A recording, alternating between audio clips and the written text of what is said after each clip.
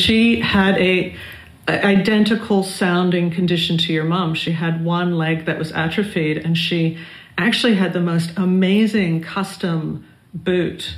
She, so she had to custom do all her footwear. Some museums have shown her footwear um, through her life, but she did wear long skirts to kind of make it less physically obvious. And she had this elaborate, beautiful footwear. So that very much in common with your mom but it's something that's erased, even though she actually painted about her disability and her pain, physical pain, throughout her whole career. It's still, if you say a disabled artist, people go, What are you talking about? And it's just been erased so much.